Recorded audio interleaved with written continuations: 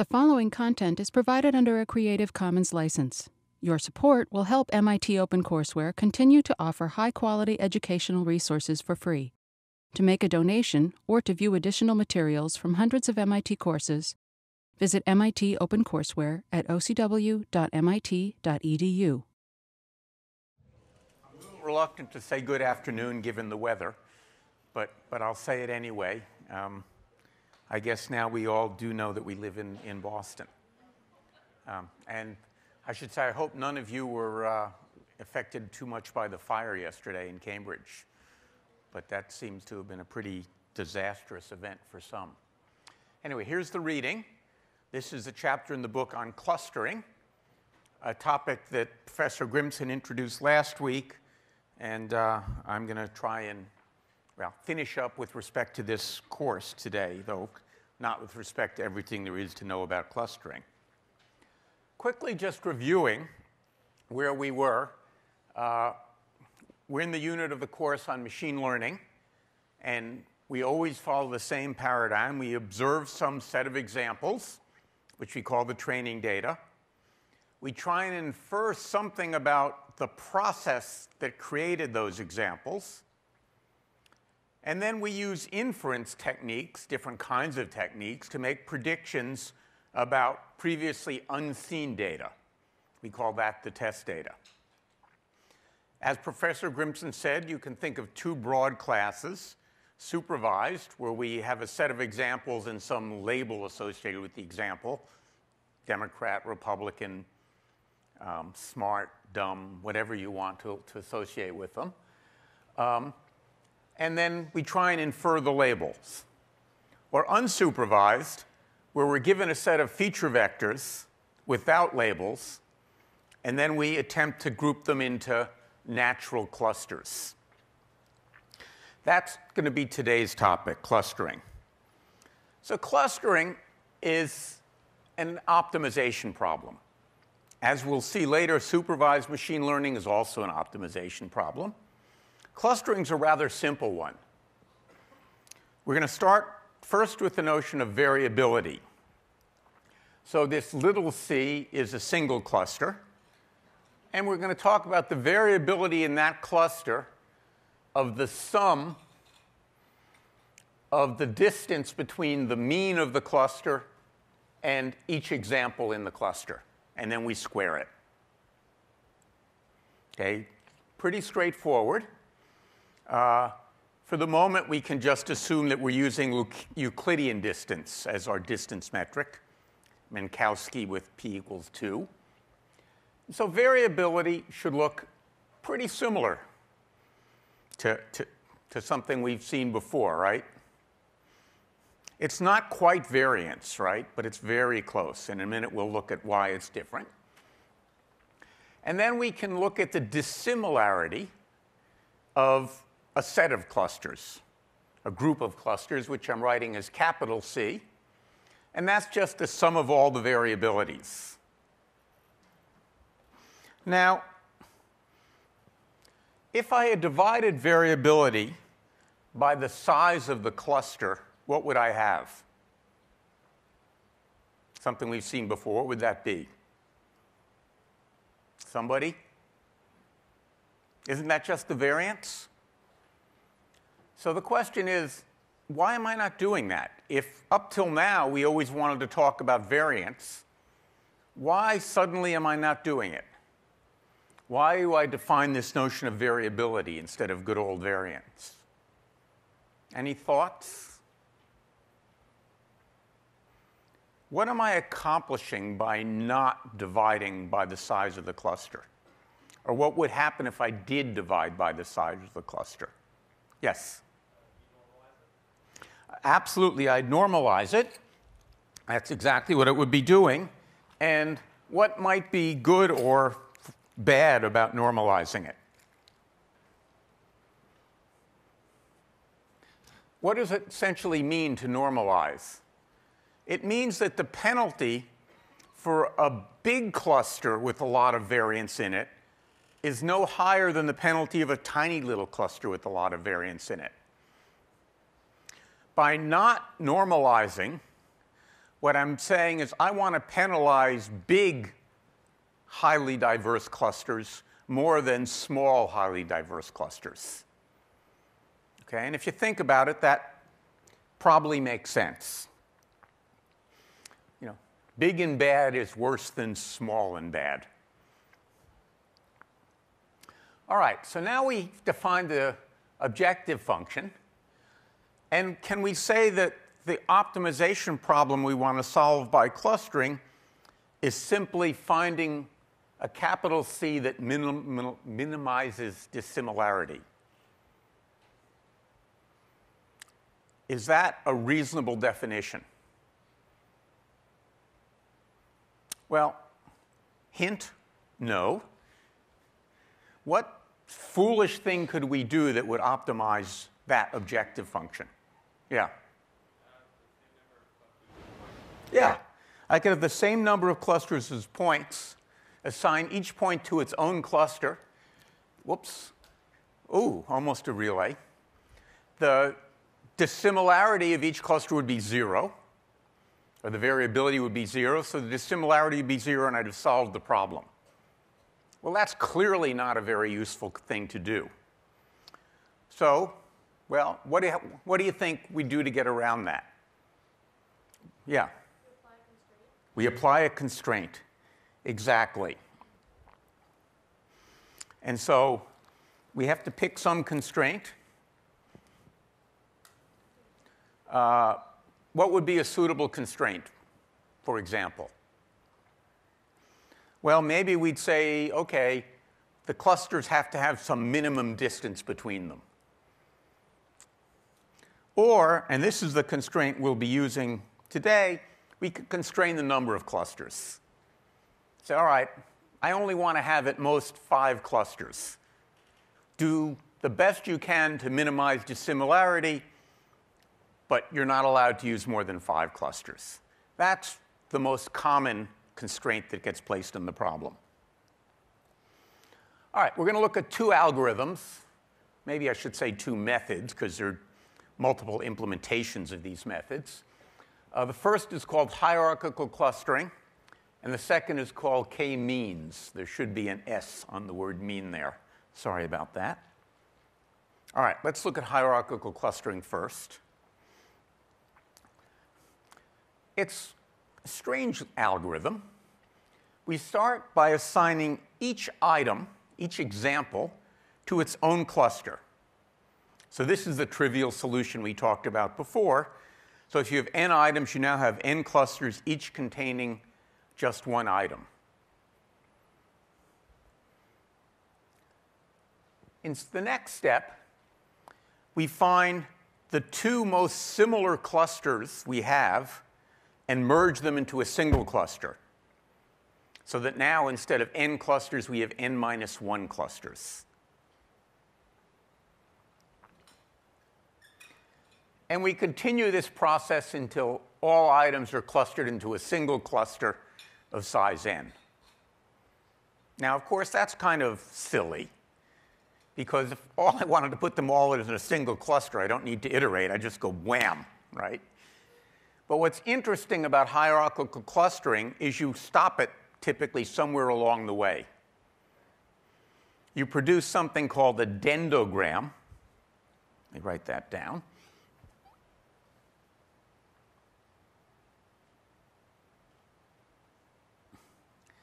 At each step here, that shows you what you've merged thus far. We'll see an example of that shortly.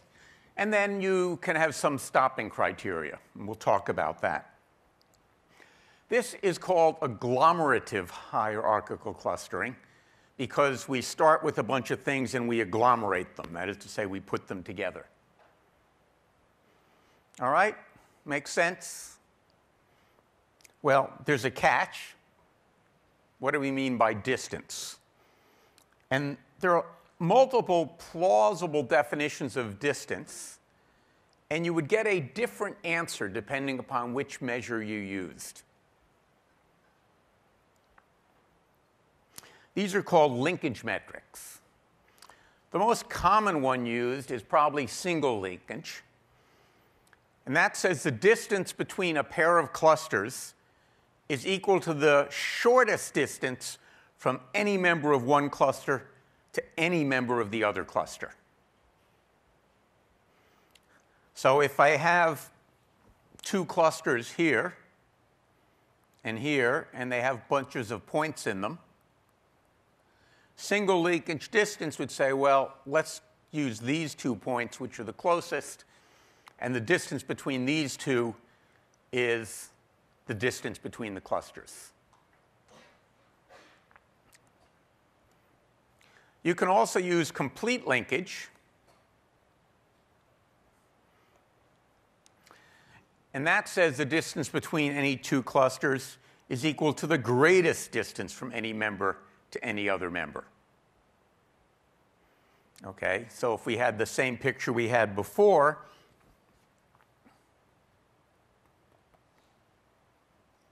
probably not the same picture, but it's a picture. Whoops. Then we would say, well, I guess complete linkage is probably the distance maybe between those two.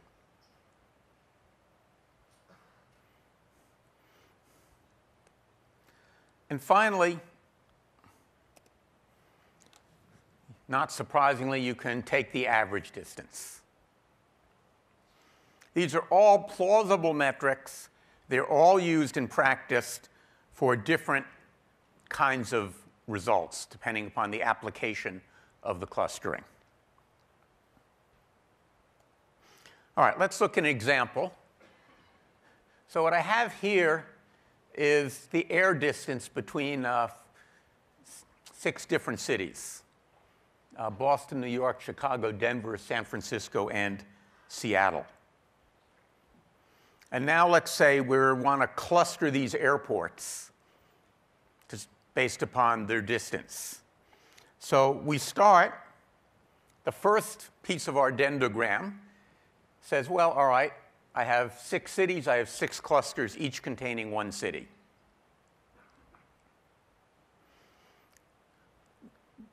All right, what happens next? What's the next level going to look like? Yeah? I'm going to join Boston and New York, as improbable as that sounds. All right, so that's the next level. And if for some reason I only wanted to have five clusters, well, I could stop here. Next, what happens? Well, I look at it, I say, well, I'll join up Chicago with Boston and New York.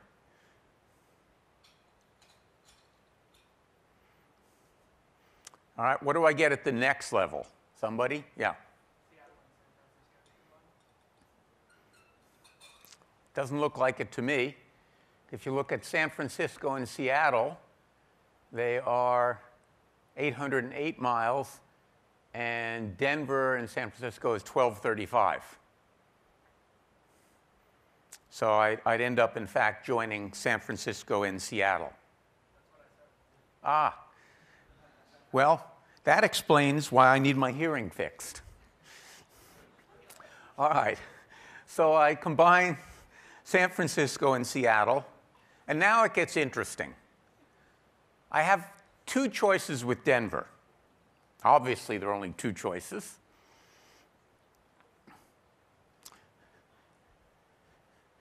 And which I choose depends upon which linkage criterion I use.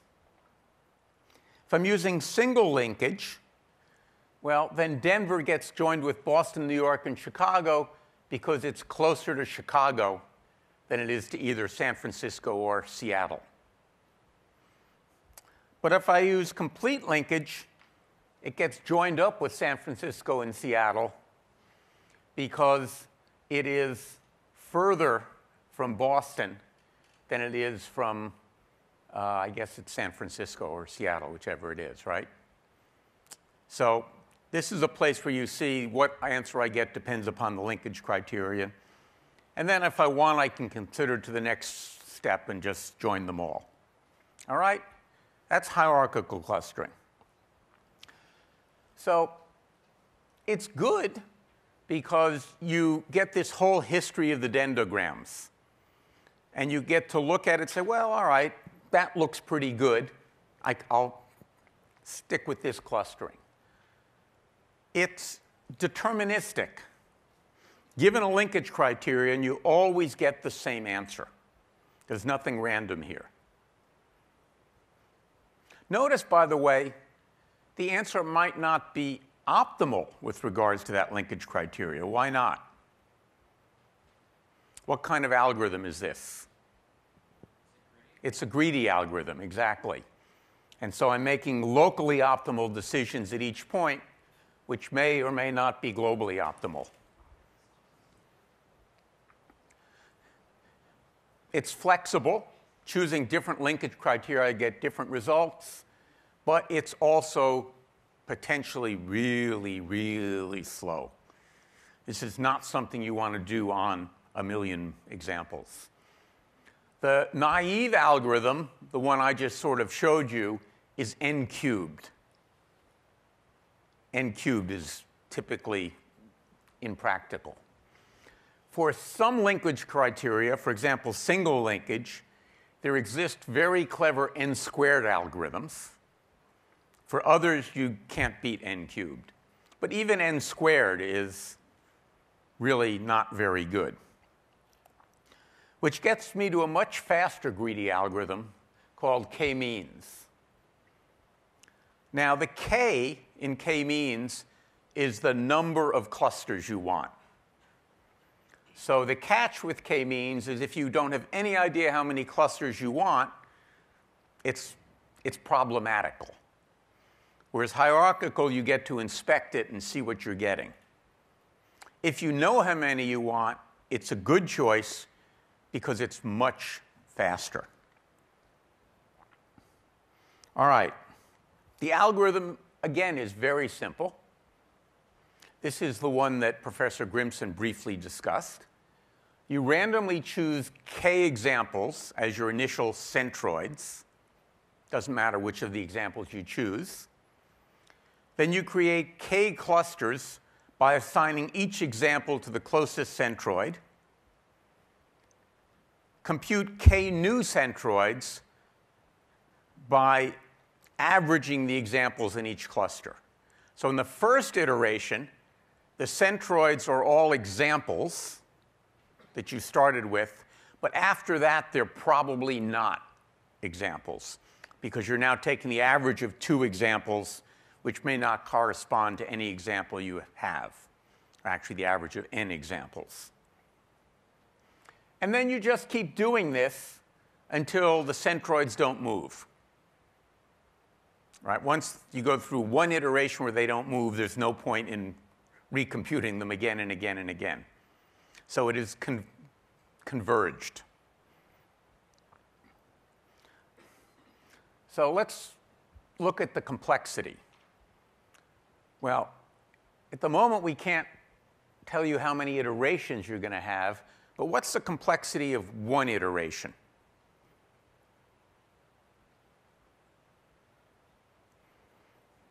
Well, let's think about what you're doing here. You've got k centroids. Now I have to take each example and compare it to each, in a naively at least, to each centroid to see which it's closest to, right? So that's k comparisons per example. So that's k times n times d, where how much time each of these comparisons takes, which is likely to depend upon the dimensionality of the features, right? Just the Euclidean distance, for example. But this is a way small number than n squared, typically. So each iteration is pretty quick. And in practice, as we'll see, this typically converges quite quickly. So you usually need a very small number of iterations. So it is quite efficient. And then there are various ways you can optimize it to make it even more efficient. This is the most commonly used clustering algorithm because it works really fast. Let's look at an example. So I've got a bunch of blue points here. And I actually wrote the code to do this. I'm not going to show you the code. And I chose four uh, centroids at random, um, colored stars a green one, a uh, fuchsia colored one, a red one, and a blue one. So maybe they're not the ones you would have chosen, but there they are. And I then, having chosen them, assign each point to one of those centroids, whichever one it's closest to. All right? Step one. And then I recompute the centroids. So let's go back. So we're here, and these are the initial centroids. Now, when I find the new centroids, if we look at where the red one is, the red one is this point, this point, and this point. Clearly, the new centroid is going to move, right? It's going to move somewhere along in here or something like that, right? So we'll get those new centroids. There it is. And now we'll reassign points. And what we'll see is this point is now closer to the red star than it is to the fuchsia star, having because we've moved the red star. Whoops, that one sorry, said the wrong thing. They were red to start with. This one is now suddenly closer to the purple. So it, to the red, it will get recolored. We compute the new centroids. We're going to move something again. We continue. Points will move around. This time we move two points. Here we go again. Notice again the centroids don't correspond to actual examples. This one is close, but it's not really one of them. Move two more, recompute centroids, and we're done. So here, we've converged, and I think it was five iterations, and nothing will move again. All right? Does that make sense to everybody? So it's pretty simple. Um, what are the downsides? Well, choosing K foolishly can lead to strange results. So if I chose k equal to 3, looking at this particular arrangement of points, it, it's not obvious what, quote, the right answer is. Right? Like Maybe it's making all of this one cluster. I don't know. But there are weird k's, and if you choose a k that is nonsensical with respect to your data, then your clustering will be nonsensical. So that's one problem we have to think about. How do we choose K? Another problem, and this is one somebody raised last time, is that the results can depend upon the initial centroids. Unlike hierarchical clustering, k-means is non-deterministic. Depending upon what random examples we choose, we can get a different number of iterations. If we choose them poorly, it could take longer to converge. More worrisome you get a different answer. You're running this greedy algorithm, and you might actually get to a different place depending upon which centroids you chose. So these are the two issues we have to think about dealing with. So let's first think about choosing K. What often happens is people choose K using a priori knowledge about the application you know, if I'm in medicine, I actually know that there are only five different kinds of bacteria in the world. That's true. I mean, there are subspecies, but five large categories. And if I had a bunch of bacterium I wanted to cluster, just set k equal to 5. Uh, maybe I believe there are only two kinds of people into the world, those who are at MIT and those who are not. And so I'll choose k equal to 2. Um, Often, we know enough about the application we can choose K. As we'll see later, often we can think we do when we don't. A better approach is to search for a good K. So you can try different values of k and evaluate the quality of the result, assuming you have some metric as to say, yeah, I like this clustering, I don't like this clustering. And we'll talk about how to do that in detail.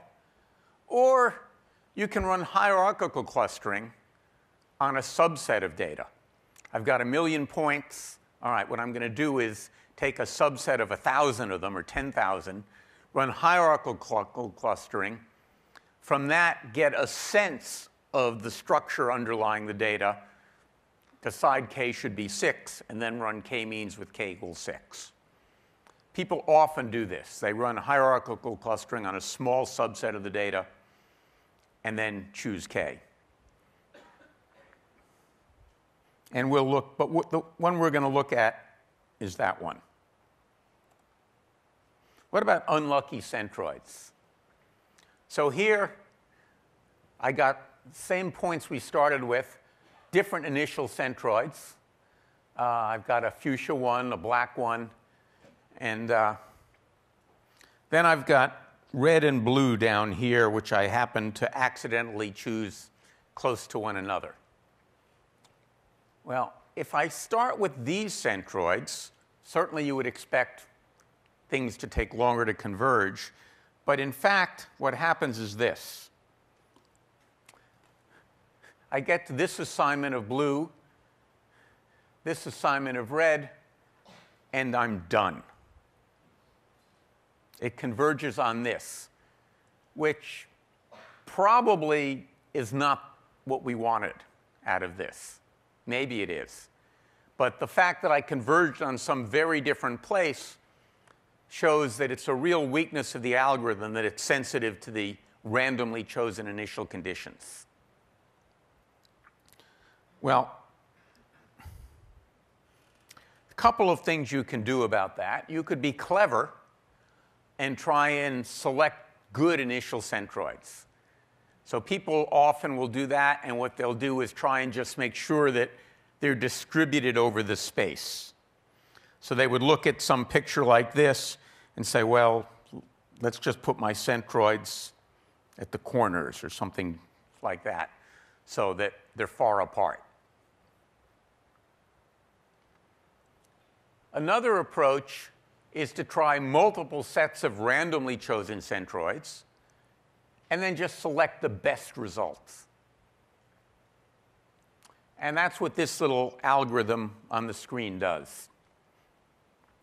So I'll say best is equal to k-means of the points themselves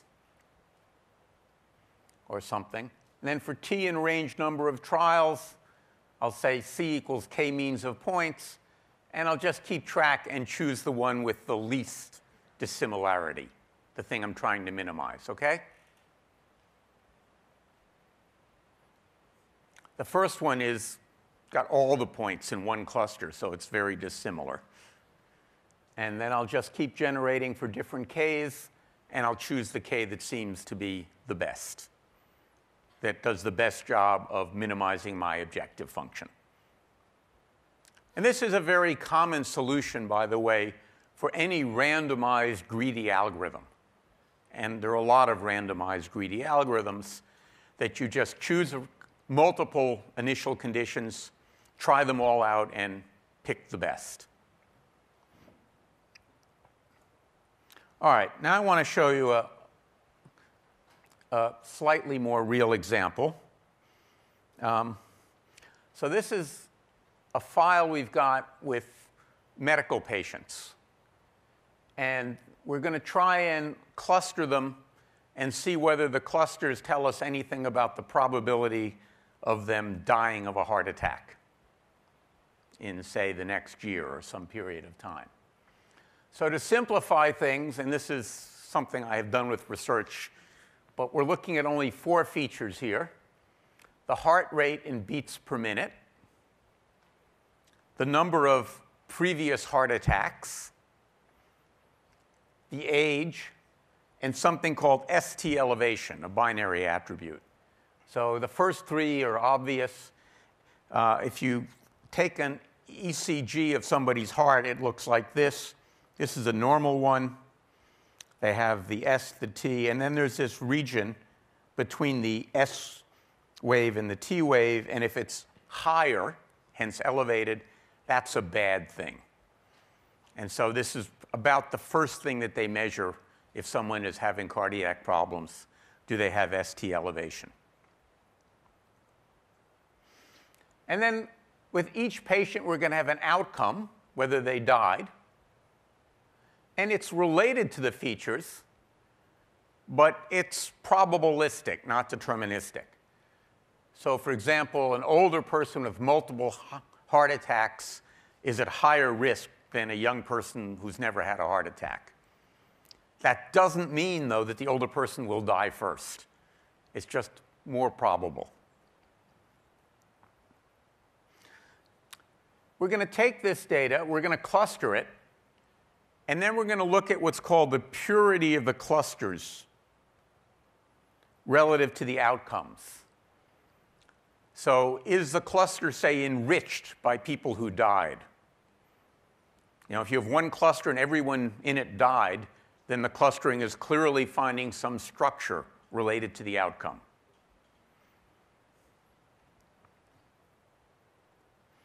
So the file is in the zip file I uploaded. It looks more or less like this, right? So it's very straightforward. The outcomes are binary. One is a positive outcome. Strangely enough, in the medical jargon, death is a positive outcome. I guess maybe if you're responsible for the medical bills, it's positive. If you're the patient, it's hard to think of it as a good thing. Um, nevertheless, that's the way that they talk. Uh, and the others are all there, right? Heart rate, other things. All right, let's look at some code. Um, so I've extracted some code. I'm not going to show you all of it. There's quite a lot of it, as you'll see. Um, so we'll start. There's one of the files you've got is called cluster.py. I decided there was enough code. I didn't want to put it all in one file. I was getting confused. So I said, let me create a file that has some of the code and a different file that will then import it and use it. Cluster has things that are pretty much unrelated to this example, but just useful for clustering. So an example here has name, features, and a label. And really the only interesting thing in it, and it's not that interesting, is distance and the fact that I'm using Minkowski with 2 says we're using Euclidean distance.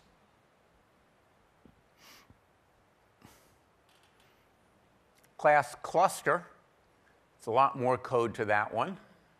Um, so we start with a non-empty list of examples. That's what init does. You can imagine what the code looks like, or you can look at it. Uh, update is interesting in that it takes the cluster and examples and puts them in, if you think of k-means, in the, in, in the cluster closest to the previous centroids, and then returns the amount the centroid has changed. So if the centroid is changed by zero, then it, you don't have anything, right? Creates the new, new cluster. And the most interesting thing is compute centroid. And if you look at this code, you can see that I'm a slightly unreconstructed Python 2 programmer. I just noticed this. I really shouldn't have written 0.0. I should have just written 0. But in Python 2, you had to write that point 0. Sorry about that. Thought I'd fix these. Anyway, so how do we compute the centroid? Uh, we start by creating uh, an array uh, of all zeros.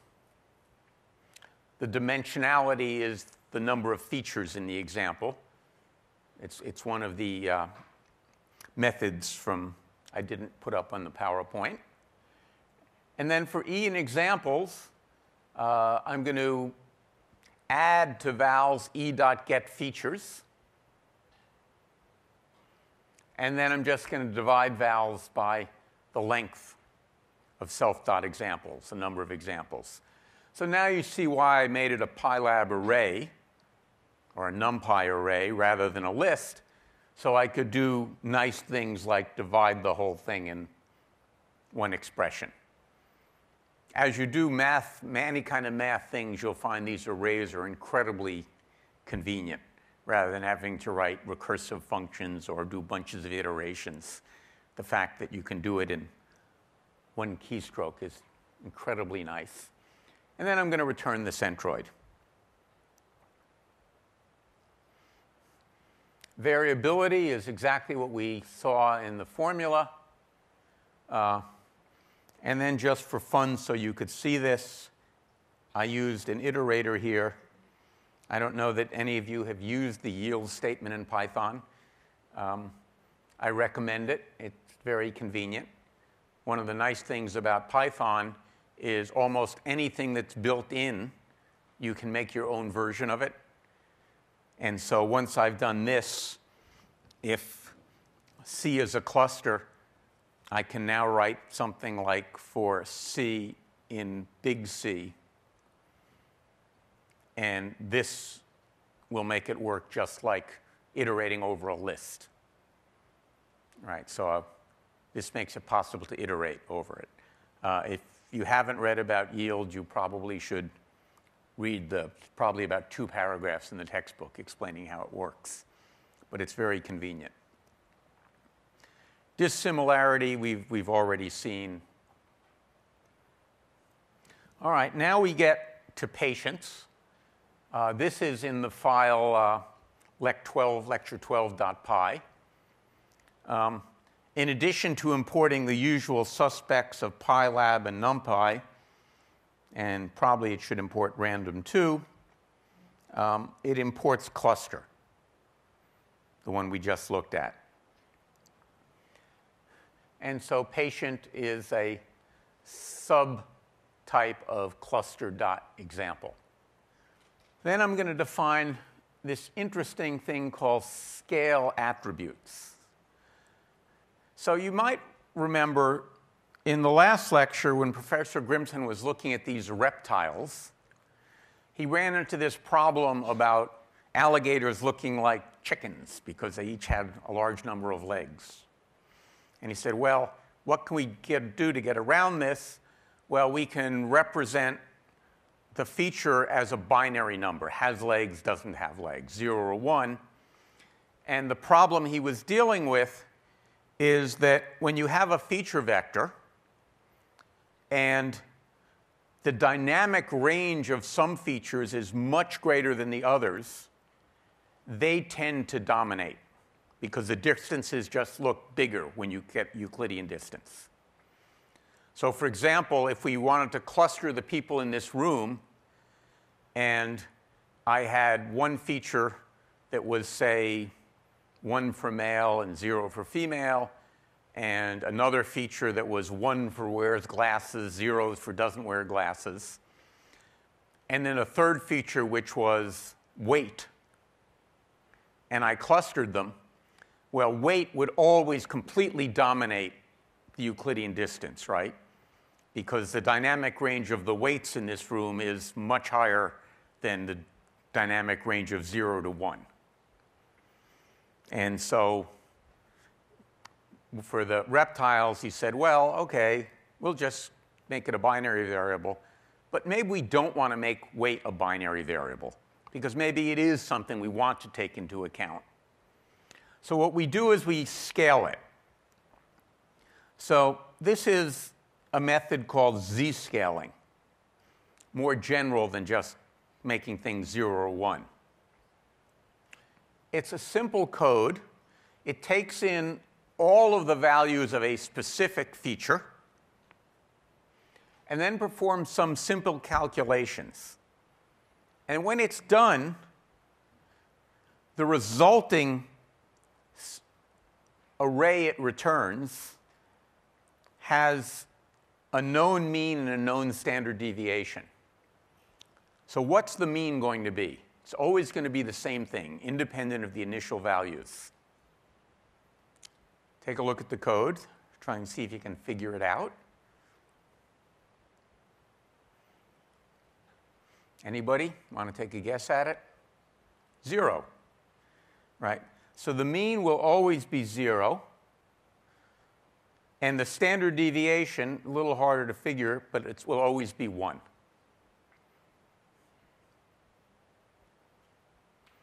Okay, so it's done this scaling. This is a very common kind of scaling called z-scaling. Uh, the other way people scale is interpolate. They take the smallest value and call it ze- zero. The biggest value, they call it one and then they do a linear interpolation of all the values between 0 and 1. So the range is 0 to 1. That's also very common. So this is a general way to get all of the features sort of in the same ballpark so that we can compare them. And we'll look at what happens when we scale and when we don't scale. Uh, and that's why my get data function has this parameter to scale. It either creates a set of examples with the attributes as initially or scaled. And then there's k-means. It's exactly the algorithm I showed you with one little wrinkle, which is this part. You don't want to end up with empty clusters. If I tell you I want four clusters, I don't mean I want three with examples and one that's empty right? Because then I really don't have four clusters. And so this is one of multiple ways to avoid having empty clusters. Basically, what I did here is said, well, I'm going to try a lot of different initial conditions. If one of them is so unlucky to give me an empty cluster, I'm just going to skip it and go on to the next one by raising a value error, empty cluster.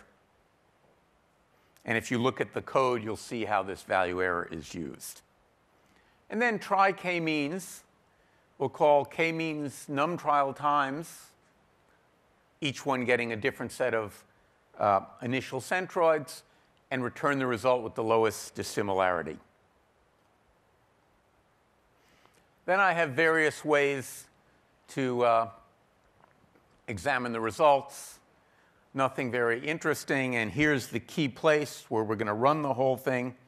We'll get the data initially not scaling it, because remember it defaults to true. And then initially I'm only going to try 1k, k equals 2. And uh, we'll call uh, test clustering with the patients, uh, the number of clusters k. I put in seed as a parameter here because I wanted to be able to play with it and make sure I got different things for 0 and 1 and 2 just as a testing thing, and five trials it's defaulting to.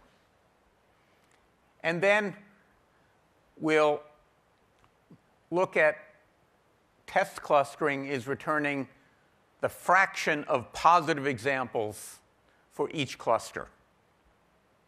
Okay? So let's see what happens when we run it.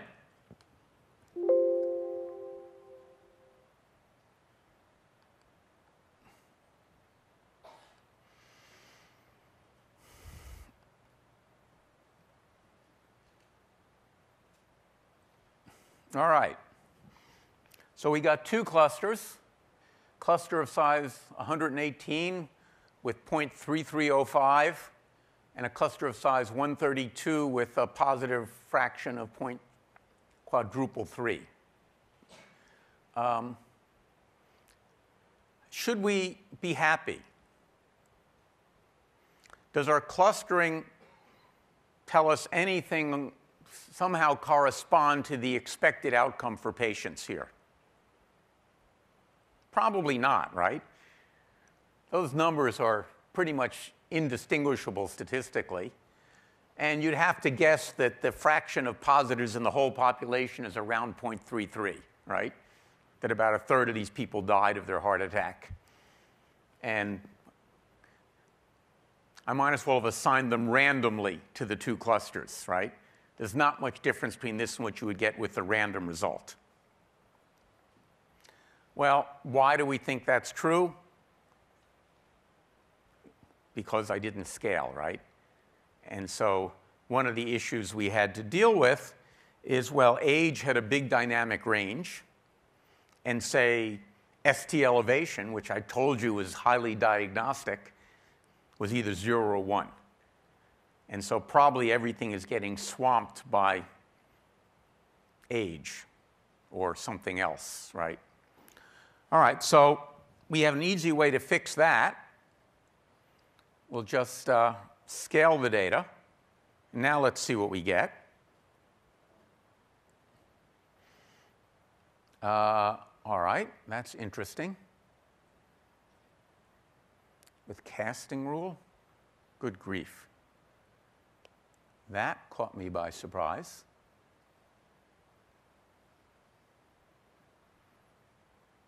Uh, hmm. Good thing I have the answers in PowerPoint to show you, because the code doesn't seem to be working.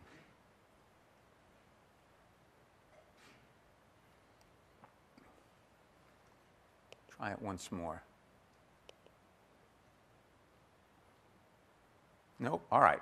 Well, in the interest of getting the, through this lecture on schedule, we'll go look at the results that we get. I got last time I ran it. All right. When I scaled, um, what we see here is that now there's a pretty dramatic difference. Right? One of the clusters is a much higher fraction of positive patients than others. Um, but it's still a bit problematic. So this has pretty good specificity, a positive predictive value, but its sensitivity is lousy. Um, remember, a third of our initial population, more or less, was positive. 26 is way less than a third. So, in fact, I've got a class, a cluster that is strongly enriched, but I'm still lumping most of the positive patients into the other cluster. And in fact, there are 83 positives. Uh, wrote some code to do that. And so we see that of the 83 positives, only this class, is, which is 70% positive, only has 26 in it to start with it. So I'm clearly missing most of the positives. So why? Well, my hypothesis was that different subgroups of positive patients have different characteristics. And so we could test this by trying other values of k to see if we would get more clusters. So here I said, let's try k equals 2, 4, and 6. And here's what I got when I ran that. So what you'll notice here, as we get uh, to say 4, that I have two clusters, this one and this one, which are heavily enriched with positive patients. 26 as before in the first one, but 76 patients in the third one. So I'm now getting a much higher fraction of patients in one of the, quote, risky clusters. And I can continue to do that. Um, but it, if I look at k equals 6, we now look at the positive clusters. There are three of them, significantly positive. But I'm not really getting a lot more patients total. So maybe 4 is the right answer. So what you see here is that we have at least two parameters to play with, scaling and k. Even though I was only wanted a structure that would separate the risk, high risk patients from the lower risk, which is why I started with two, I later discovered that in fact there are multiple reasons for being high risk. And so maybe one of these clusters is heavily enriched by old people Maybe another one is heavily enriched by people who have had three heart attacks in the past, or ST elevation, or some combination. And when I had only two clusters, I couldn't get that fine gradation. So this is what data scientists spend their time doing when they're doing clustering, is they actually have multiple parameters, they try different things out, they look at the results, and that's why you actually have to think to manipulate data rather than just push a button and wait for the answer. All right, more of this general topic on Wednesday when we're going to talk about classification. Thank you.